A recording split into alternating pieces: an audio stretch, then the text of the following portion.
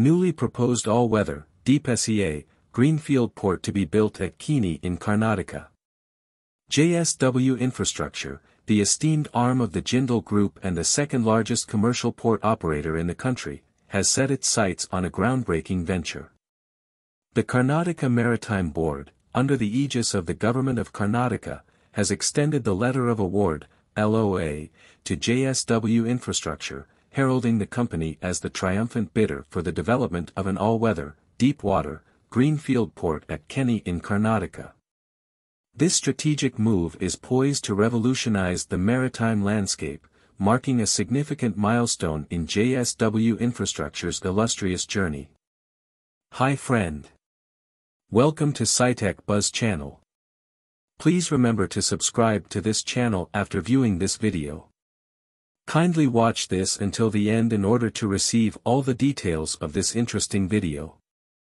The ambitious project comes with an estimated price tag of 4,119 rupees crore and is slated to have an initial capacity of handling an impressive 30 million tons per annum, MTPA. The Keni port, situated strategically in the North Karnataka region, is poised to cater to a wide array of cargoes on the west coast.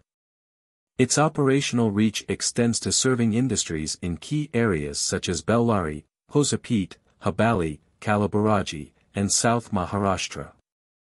One of the pivotal aspects of the Keni port's significance is its geographical location, strategically sandwiched between two operational major ports, Mormugao port to the north and New Mangalore port to the south. This locale positions the port as a crucial player in the region's maritime activities, promising to be a game-changer. The proposed port's hinterland is primarily geared towards handling coal and coke cargo, crucial raw materials for the thriving steel, cement, and power plants in the region. The visionary project aims not just for immediate impact but has long-term potential, with plans to scale up its capacity substantially in the future. To ensure seamless connectivity and logistics, the Keni port is set to be intricately connected via rail and road. Rail connectivity, crucial for efficient cargo movement, is slated to be established on the southern side, linking up with the existing Konkan line to the north of the Ankola station. The proposed railway alignment, with a projected length of about 8 kilometers, is a testament to JSW Infrastructure's commitment to robust and efficient infrastructure. This strategic move aligns seamlessly with the Karnataka Maritime Perspective Plan, underlining the state's current hinterland potential of 44 MTPA of cargo. This figure is projected to witness a substantial surge, reaching 117 MTPA by the year 2035. The Keni port, therefore, isn't just a standalone project, it's a crucial piece in the larger puzzle of Karnataka's maritime development. As we delve into the historical context, JSW, Infra, has consistently been at the forefront of transformative infrastructure projects.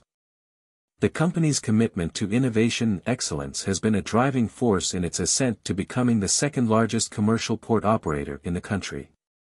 In conclusion, the LOA issued to JSW Infrastructure for the development of the Keni port in Karnataka is more than a mere announcement, it's a beacon illuminating the way forward for the region's maritime landscape.